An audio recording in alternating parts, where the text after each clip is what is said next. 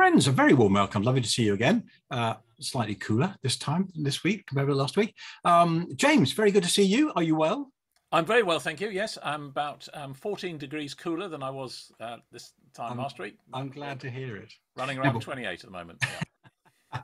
You're looking very good for your age. No, um, now, friends, before we go any further, don't forget those three wonderful things that will help us to click on like down below, to uh, subscribe so you can pick up things in the future, and also to share. So you can click on the share button, and that gives you the link for this video, and you can plaster it around your uh, network, your social network, real or online. That would be great, wouldn't it, James? It would be fantastic if people were able to do that. Yeah, and uh, I'm sure many people who watch us have all sorts of networks like chapters, deaneries, uh, wider dioceses, Baptist ministers, followings of millions on Twitter, and that kind of yeah, thing. Yeah, Twitter, the Twitter millions. Yeah, yeah. Now, James, we are really getting well into the Trinity season now because we're coming up to Trinity Seven, are we not? Yes, that's right. Yeah. Now, James, what is our lectionary gospel reading for this week? Yep. So it's Luke chapter twelve, and it's verses thirteen to twenty-one. And chapter twelve, you say? Yes. My goodness, we skipped a long way. We have skipped. We've skipped over, um, well, most of chapter 11, actually, haven't we? And um, we, we, we've, we skipped over all the controversy. I don't know why the lectionary writers decided we don't want to do that. But that's that's what we've missed out. A, a long chapter in chapter 11 with some um, significant conflict stories between Jesus uh, and Pharisees and lawyers and, and, and so on. Now, there's two explanations for why we might have skipped those over. Well, there's three possible explanations. Well, two legitimate ones. One is that there are parallel passages yeah. uh, in the other Gospels which are covered in one of the other years, which is yeah. a possibility. The other possibility, which I think is less likely, is that the lectionary comes back and revisits this at another point because yeah. it doesn't cover Luke always in order. I think that's much less likely. Um, the if you want to be scurrilous, the other possibility is that the lectionary jumps over some of the awkward passages, and some of this stuff is pretty awkward, isn't it? It is, yeah. I mean, it, Jesus says some really tough stuff. I mean, if you think of Jesus just being nice to everybody, and you know, gentle Jesus, meek and mild, and um, just affirming everybody all the time, this is not the chapter you want to read because that is not what he does in chapter eleven. Um, There's woe to the back, aren't there? Yeah. Yeah and I, I do. I mean, this is almost comic, isn't it? Um, woe to the Pharisees! Woe you to you Pharisees, for you do this. Woe to you Pharisees! You love the best seat in the synagogue. One of the lawyers answered him, saying, "Teacher, in saying these things about the Pharisees, you insult us too." To which Jesus replies, "You, you bet. Woe to you lawyers as well." Which yes, is, yes. It's just unbelievable, um, but absolutely extraordinary. But uh, absolutely, of course, consistent with what we've been thinking about in previous weeks, where Jesus um, insists essentially that um, he needs to be the center of our attention. Yeah, yeah, and and that leads to some difficult and uh, yeah.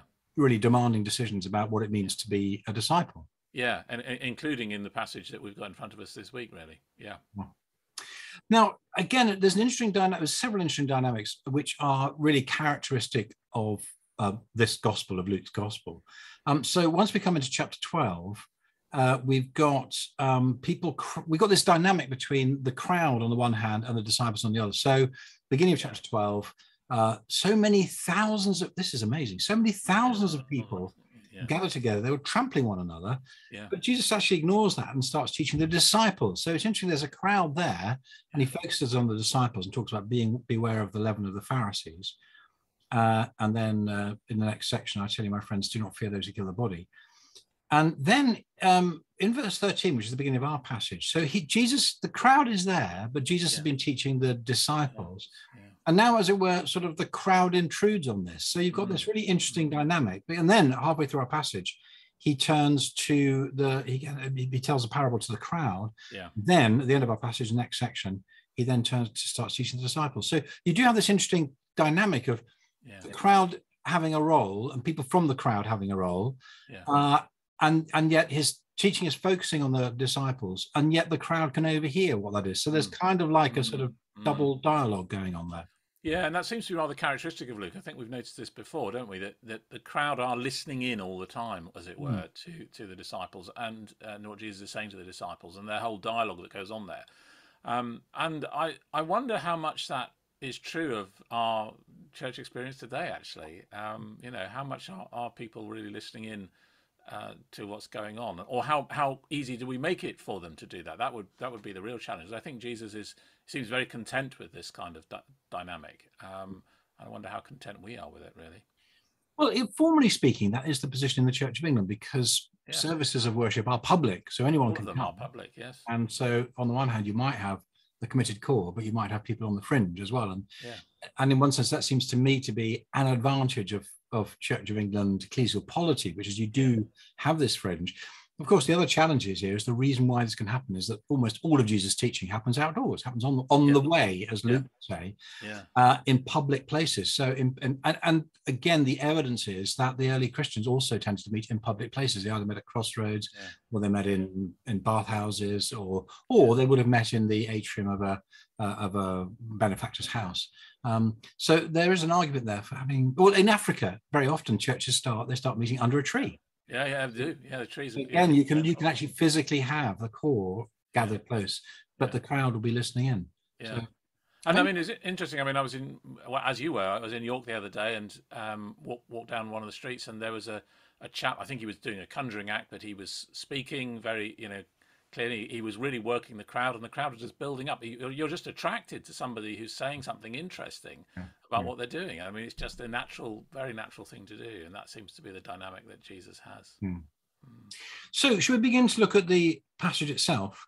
Yeah. Um, and what again, the shape of the passage is quite interesting because you have the interruption from the crowd, and then you have that as a scene setter for Jesus teaching a parable. Now, I know in an earlier sort of generation, commentators said, "Oh, well, this is a kind of a Lucan artifice; he's creating a situation." But I'm I, I'm not persuaded by that really. I mean, it's not it's not an unnatural thing to happen, and one of the dynamics of Jesus' teaching is he often responds to questions and to challenges. Yeah, yeah, absolutely, and and why not? And it's very interesting. The question itself is is really telling Jesus, we, "I want you to act as my lawyer." I mean, it's uh, you know, tell tell my brother to divide the inheritance with me. Is asking Jesus to act as a lawyer, and it's it's fascinating, isn't it? In the previous chapter, Jesus has just been having giving the lawyers a hard time. So maybe the crowd think, well, uh, Jesus would be much better at this than than the lawyers that he's just condemned. So let's ask him. But Yeah. the really fascinating thing is, of course, he absolutely refuses to act in that way. So.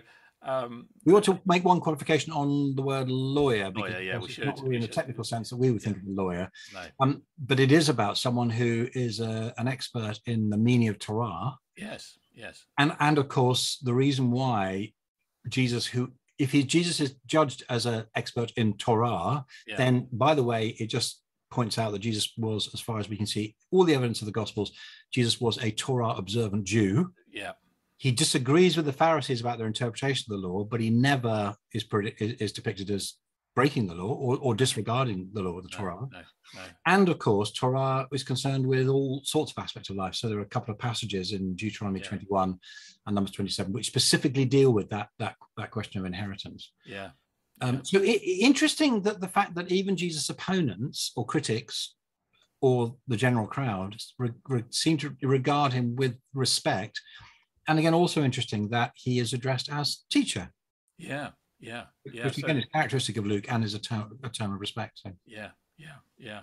Um, and it, I think this, this, the the question itself is is really interesting because, you know, it, apparently the rabbis taught that if if you know you were uh, due to inherit and you were you were both heirs, um, then and one of you said you wanted the inheritance to be divided because of course normally in families you didn't divide the inheritance because you you, you held property and stuff in common.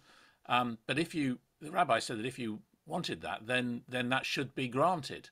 Hmm. So um, you know they're drawing on a, a tradition in um, ancient Judaism that, Hmm. in a sense, the the man thinks he's got a right, and Jesus needs to uphold his right. So he's crying out, "I want my share. I want my justice."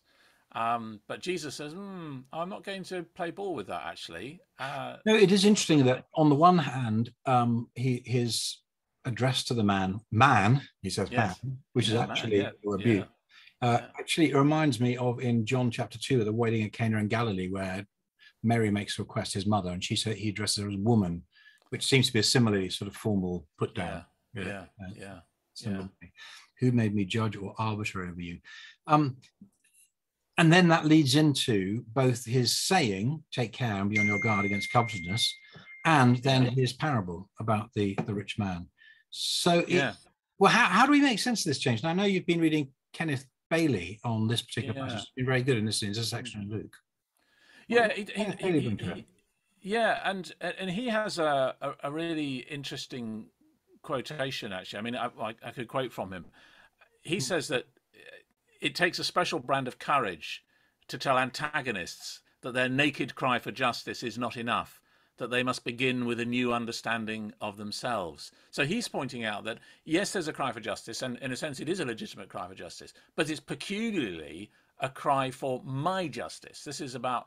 This is what I want, and it, Jesus will not not play ball with that. And I think all through the encounter with the man, but also in the parable, Jesus is coming against this idea that we are isolated individuals who can just basically ask Jesus to, to let us do what we want. We are people in community, and, and particularly, of course, we're called into the community of the body of Christ, where um, the, it's actually the way of Jesus that matters, not the way of anybody else, and certainly not the way of any individual. And that also, there's also, if I can put it this way, there's also something to do with theological anthropology, which is a fancy way of saying how we see ourselves before God. Because, of course, this isn't just a rebuke to individualism on the one hand, it's also a rebuke to desire. So, yeah, yeah, uh, Jesus characterizes this as a as covetousness, a desire for wealth, a desire for things. Mm. And although on the surface the man's claim looks like one which is a simple call for justice, actually Jesus sees through that and says, "Well, hang on a second. Actually, there's something much more fundamental about how do we how do we make sense of the desires that we found inside of us, uh, and, and what does Jesus want to do in relation to those? And actually, rather than say, well, I have this desire and I think it's just that it should be satisfied, Jesus says, hang on a minute, I want to actually start all over again by rethinking who you are in the sight of God. Yeah, yeah, and I, I think what Jesus puts his finger on here, particularly helpfully, is the the toxic nature of a cry for individual justice Mm. and covetousness or greed or whatever. And when those two things combine, there, there is a, a very serious problem if you give in to them. And I, actually, personally, I know this because um, I, I I was due to inherit some some money, and uh, I, and I I needed it, um, and there was a kind of covetousness of it, and I wasn't granted it. So that the person who was the executor of the estate didn't didn't give it to me, and it was a very difficult thing to deal with that internal injustice, Yeah. but also think actually I really I really want that money. Yeah. That's pretty toxic. Actually, you had to work through that quite carefully. It is, and we've been challenged as well. I mean, I think one of the one of the things which is fascinating about this passage in our contemporary context is that uh, I mean, I comment on the blog that when you're in an agrarian uh, culture, Yes. like as they Yes. were, Yes. actually the only way to accumulate any capital, any wealth at all, wasn't through your earnings because you simply You uh, uh, your, your, to your earn. farming would just give you a subsistence level. If you actually wanted any wealth at all for, for surplus security beyond you know what you're earning now, you could only do that by inheriting. Yeah. Now, lo and behold, look what's happened to our culture in the last five years. Mm. 10 years, five years, with house prices escalating. I mean, it, it began with the privatization of um, or the selling off of um, property in uh, from councils under Thatcher, and it gradually has accelerated. And it means that, it- that I think a lot of commentators are noticing that our culture now is basically a, a kind of two-class culture of, of those with those who own property and those who don't. Yeah. And for the next generation, the children of those who own property can, can own property because their parents do, but actually those who don't, they're They cut won't. out. Yeah, yeah, yeah. Um, so this so- idea that people can we're in we're in a we're in an economy where people can you know by by stint of their own you know cleverness. up by the bootstraps. Yeah, they can't do it actually. No, well, no. So, so the whole question of inheritance is is very, very pertinent. It's very pertinent. Yeah, yeah. Now we get into the parable itself, and again, it's very characteristic of Jesus in Luke. Um, actually, I'm looking at the ESV, and it slightly disguises the introduction. I wonder if the oh no, the TNIV is actually slightly better, um, because Jesus talks about uh, anthropo anthrop, anthropostenos, yes, anthropotenos, the, the the a rich man, a Yeah. certain man who was rich. Yeah. And he says this quite often, a certain person who's doing this. It's a Yeah. way of introducing his the, the teaching. Yes. Uh, and the other thing which is quite characteristic in of Jesus in, in Luke's gospel is this soliloquy. Yeah. Than talking about Yeah. different people engaging, the man engaged in soliloquy. And there's a lovely par- parallel with that um, a few chapters on in chapter 18, where Jesus talks about the, the Pharisee and the tax collector praying at the temple. And a beautiful phrase, little detail, where he says the Pharisee stands and prays to himself. Yes. So, Whereas- so, so, so telling, isn't it? to God. It is. And we have this saying in English, don't we? You know, um, talking to yourself is the first sign of madness. And actually, what Jesus is saying here is talking to yourself is the first sign that you've you've lost it with God. You're not you're not on the right track Yeah. because this is just extraordinary um, conversation that he has with himself. Yeah. Uh, yeah, yeah. And I, I mean, I think it's quite interesting. I mean, Kenneth Bailey, who does these um, uh, poetic analyses of parables, so recognizes they're in poetic in form and, and what he calls chiastic structures, um, points out that the center of, of such a parable is always the really important bit. And the center of this one is verse 18, where he actually has this, um, where he where basically he plans what he's going to do. I will I will do this. I will pull down my barns and build larger ones, and there I will store all my grain and my goods. And the problem, of course, of this is that it's his plan. It's not. It's got not got nothing to do with God. It's got nothing to do with the one who has given him um, all, all these all, all this uh, plenty.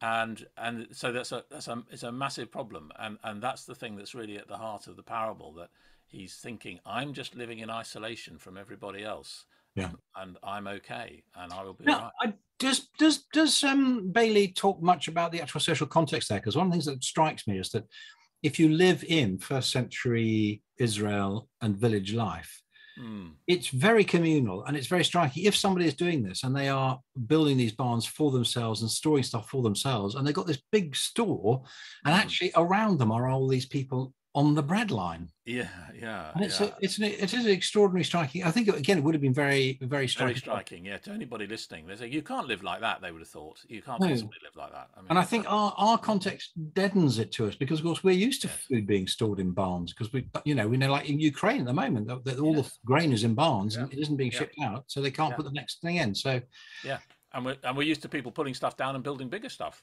Which, you know, big, Yeah. bigger storehouses, bigger warehouses. I mean, Yeah. you, you drive up and down the country on a motorway. That's that's what you see. People just building bigger and bigger. and yeah, particularly the Amazon warehouses. Yeah, exactly. Yeah, Um, Amazon particularly. Uh, and I think this being cut off from the, the others others around and being cut off from God. I mean, there's a couple of things that come out of that. One is that I found it the last the last uh, uh, particularly the last sort of eight or nine years, and I've been doing a lot more gardening and building raised beds. And I'll tell you what, there's nothing like growing your own food as an antidote to thinking that food just comes from Tesco's. yeah, yeah, It, yeah. it really doesn't. It really does come from the ground, and it needs the soil and the yeah. sun and the water, and you know, and Yes. I, I, if you don't grow your own food and you do think that tomatoes come from Tesco's, it is um, uh, it, it does put you in a, in a very different position. I think. Yes, and you realise how hard it, you know, how how vulnerable growing is. You've got to do it right. I mean, Last got to- year I had tomato blight, so I lost the end of my tomato harvest. Yeah, Yeah, and it's yeah. devastating, isn't it? Personally, Yeah. you, you're so uh, it's just awful when that happens. You know, Yeah, because you've tend, yeah. you've tended it, you've done all that work on it, and suddenly something something unexpected, which you are not in control of. This is the key thing, isn't it? Um, this man cannot possibly be in control because, as God says to him, "You fool! This very night your life is is required of you, is demanded of you." And and what are you going to do with all this stuff? You know, you don't take it with you. And I think the other second thing I can observe on this is that this lack of concern for God and lack of concern for others. What, what is I find really fascinating in sort of Luke Acts is the way that you know we know that Luke is always concerned with the economic implications. Yes, so we've got a lot of Jesus' economic Yes. parables, and then we find in Acts chapter two th- the exact opposite of, the, of, of this guy, this rich man, Mm. this rich Mm. fool. Mm, Uh, so you get in Acts 2 that the, the, the apostle that the, the believers devoted themselves to the apostles' teaching and fellowship, to the breaking of bread and to prayer. Everyone was filled with all the signs and wonders, and all the believers were together, and they had everything in common. They sold property and possessions to give to anyone who had need, not just actually within the community, but but, Yeah. but anyone. yeah, And they kept, so they had this up dimension of Yeah. daily praying and celebrating and praising God on the one hand, and that led to the out dimension to be caring Yeah. for others as well. Yeah. Now this this puts me in a bit of a difficult position politically because I'm very conscious that many people criticise the bishops of the Church of England or other Christian leaders Mm. for always having a left of centre kind of, you know, whereas, whereas the Church of England used to be the Conservative Party of prayer, it's now either the Labour Party or the, the Green Party. Mm. Um, and in one sense, I can see why that is because you've got a very communitarian ethic here. Mm. But I'd actually go further than that and say the kind of well, it's not really even if not even an ethic. I mean, Jesus' teaching here isn't sort of focused on ethics. It's really focused on whether we live our lives turned into ourselves, yes, or, or whether we live our lives turned out to God and to other people. Yes. Yeah. So it's a it's a theocentric view rather yeah. than an ethical yeah. view. Yeah. But the whole register of Western society, which is measured by accumulation, by consumerism, yeah. I, have been very struck by the debate about the. Um, so, for anyone who watches this later, this states it very, very clearly. Yeah, yeah, yeah. The debate about the next conservative leader. I mean, the competition seems to be which one's going to make us richer. Yeah, and that seems. which one is going to? Which one is going to build bigger bonds for us? Mm, mm. Yeah, and there's just a sort of there's a kind of um, well, I, I find it an insulting uh, assumption, frankly, that that's the only thing that anybody should be bothered about, or uh, particularly those who are voting for that leader should be bothered about. Um, that, what does that say about the bankrupt nature of our political discourse? Uh, and I think but it isn't just a, it isn't just a left right thing as well because I mean you no, could say you could say that you know that the agenda of the left is to say well we'll all be wealthier by having a higher level of tax and and the people on the right will say we'll all be wealthier by having a, a lower level of tax and I kind of want to say but but that isn't even the right question to be starting with. No, I mean, there are much no. more much more basic questions we ought yeah. to be asking about our, our lives. Yes, and even if even if you don't, even in political debate, even if you don't want to talk about God, at the very least, follow the way, way of Jesus and, and talk about how we how we want to be living with one another, as it were. Yeah. How we want to be with one another in a, in a, in a, in, a, in society. That's mm. that's not that doesn't seem to be tackled either. And it is amazing how much the landscape has changed in well in our in, our lifetime, James. Because mm. um, mm. you know, I, I, expect we can remember we can we're old enough to remember back before yeah. uh, free market economics dominated the West, yeah, and where where life in the UK was a lot more communitarian. Now, let me just mention one example on the on the yeah, blog. Mentioned um, one on the blog, I think. Yeah, the virologist virologist Jonathan Ball. Yeah. Who lived? Who's an, he actually? I think he's here in Nottingham, where I am. Right. He recalls his childhood in the mining villages of Nottinghamshire in the 1970s, where each village was a community and everyone looked out, looked after one another. And yeah. all that was just destroyed when the, the mining industry was, was uprooted. Yeah. But I also remember when I first came to faith in the 70s and 80s, there was a very strong strand in of, of what I might call Christian radical thinking. So I'm yeah. thinking about um, people like Ronald Sider, who's yeah, still on. Yeah, Rich Christians um, in an Age of Hunger and all that. Yeah. Yeah, and Richard Foster, yeah. who's talking about well he, he wrote the celebration of discipline he wrote another book which actually i thought was even better which yeah people knew about called the freedom of simplicity yeah that, i think that's an excellent book yeah and and one of the things he says is that you know things possessions are called possessions because they possess you and you've got to you know jesus wants to break the power of possessions and one of the yeah. ways you do that his spiritual discipline is giving things away that, that's something i know that you've you've practiced isn't it yeah we we we, we um, had lent this year and we decided we we would get, give away something every single day during lent. Not not as a i mean not not because you know we're kind of trying to show off but i mean it was really trying to practice get into i think part of this is about the, the formation of habits actually. We we if, if you don't have the habit of getting rid of stuff or giving it away or whatever mm. then it's very very difficult to do it when you need to do it. So you, you need to ex- flex the muscle exercise the muscle so that so that when something really important and a need comes that somebody needs some of your stuff you, you're actually already semi-detached from it yeah. Um, did you find it that a difficult discipline? Um, it was quite difficult uh, sometimes, um, it, and, and we, led to some discussion between my wife and I about what was going to be given away.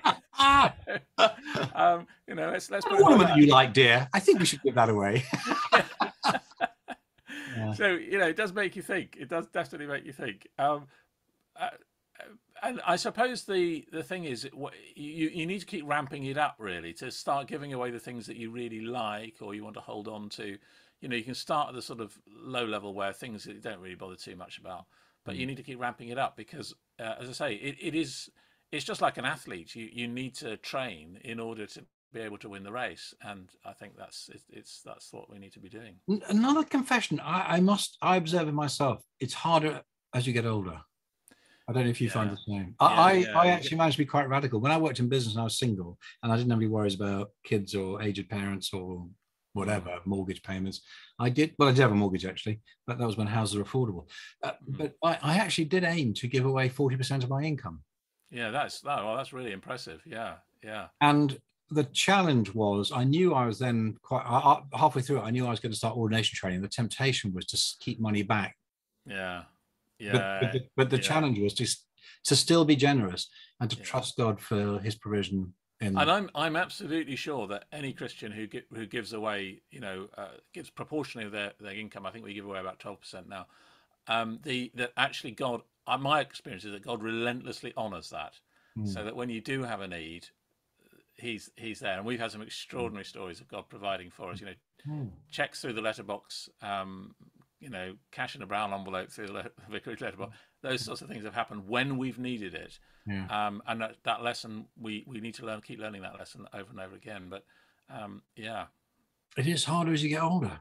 To I mean, and I should say we were once actually investigated by by HMRC, um, and they sent two people around to our house. And the reason it turned out was they simply didn't believe that people gave away twelve percent of their income. So, and of course, at the time, um, I think it, you you you you took that off the child tax credit. What you gave away didn't count under what you qualified for the child tax credit. So they simply didn't believe my income was as low as it actually was. but of course, they had to back off because I had the evidence. You know. well, this passage is just so relevant to contemporary culture in so many different ways, isn't it? So, Yeah, James, in fact, we could we could talk for another half hour. I'm sure. I'm sure we quite could. easily. But thank you very much, friends. Thank you so much for joining us. I hope that we we we, really hope that you find this helpful as we try and bring the word to life. That it Mm. opens up so that your preaching on this can be challenging but life-giving as well uh, uh, as you engage with these questions of wealth and possessions. Thank you for joining us. Don't forget, uh, like, uh, Subscribe. subscribe, subscribe. A little And button share. comes over here. I think I, I don't. I've already put it in front of your face again, James, as it comes up. Yeah, you always do, don't you? and we look forward to seeing you next time. Yeah. Bye bye.